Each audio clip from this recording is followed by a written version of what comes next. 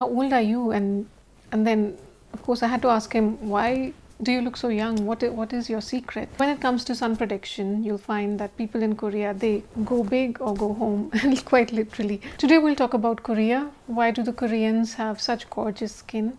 And trust me, it goes beyond the 10-step Korean skincare. Of course, the first point, the elephant in the room. Let's let's just get it out of the way. The Korean skincare. Some of the most innovative products they first tend to make an appearance in Korea. For example, sheet masks.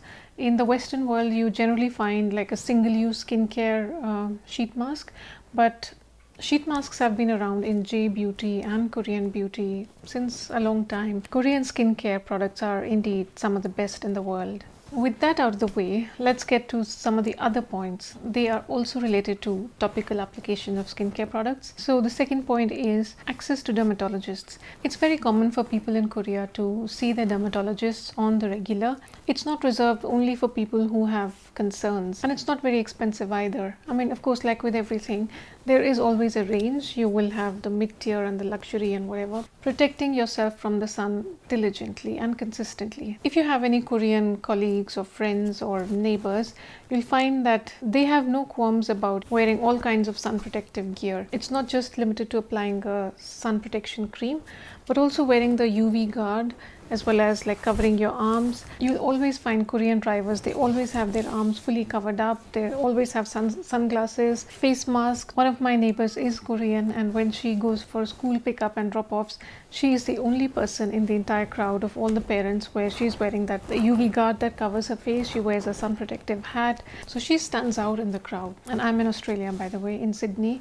So in Korea, it's it's very common for people to go like the whole nine yards. So when it comes to sun protection, you'll find that people in Korea they go big or go home, quite literally.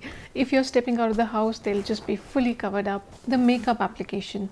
Now, because the Koreans they invest so much time in finding the best skincare routine, either by trial and error or in most cases, people always you know visit a professional like a dermatologist or an esthetician, and they tailor a skincare routine for themselves. They spend so much time and effort in maintaining good skincare that the need to apply a whole lot of makeup isn't even there. Like Korean people, they just have the most glowing skin. You can tell from a distance, you know, when somebody has that glass skin, they are definitely Korean. It takes effort to achieve that sort of flawless skin.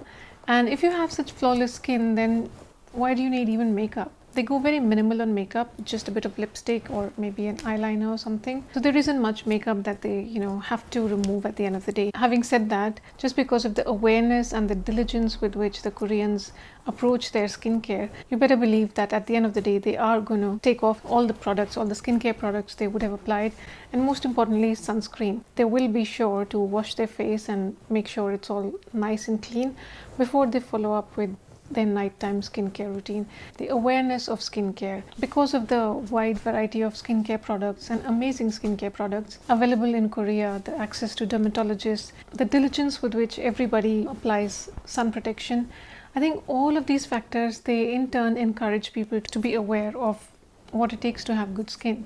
And it's not just limited to the women, even the men in Korea, they have such beautiful skin. You've seen the K pop stars, right? Their skin is glowing. And it's not just the stars, like any Korean man or woman, you'll find their skin is just beautiful. Now let's move on to the lifestyle reasons. And the number one is obviously the diet. Now, much like the Japanese diet, the Korean diet is also very rich in both seafood and vegetables, as well as fruits. So, eating fresh, wholesome ingredients, as well as a lot of fermented foods. Kimchi is from Korea. Kimchi is fermented cabbage and very spicy and tasty. And that is a condiment. Is it a condiment? And kimchi forms a part of a lot of their meals. There's also the culture of consuming tea. That's something I missed covering in my Japan video the Japanese people have a lot of matcha and green tea, and in Korea also, the culture of consuming tea is very common. One of my colleagues who was Korean, and I did ask him, Why is your skin so glowy? He was in his 50s, late 50s, and you could not tell that he, he was in his 50s. I had asked my Korean colleague, How old are you? And, and then, of course, I had to ask him, Why do you look so young? What, what is your secret? What's that magic juice? And uh, he thought about it and he said, Oh, maybe it's the green tea. I have a lot of green tea. And the next day he got me some green tea bags and I did consume it every day, but you know it's not just the green tea so uh, green tea and any other types of tea which is very high in antioxidants consuming it a lot I think it also helps with um, it, it doesn't just help with good skin right? Antioxidant rich diets are always going to help you look and feel healthy. So those are some of the reasons why Koreans look so good. If you're Korean and you have any more points please do let me know in the comments below. And did you agree with what I said in this video? I've made a few other videos in this series. I've covered Japan and Sweden. I'm going to make a few more. Do subscribe to my channel and hit the notification if you want to be notified of when I upload my next video. And if you enjoyed this, please do give it a thumbs up and share it with your friends. I'll see you in my next one. Bye.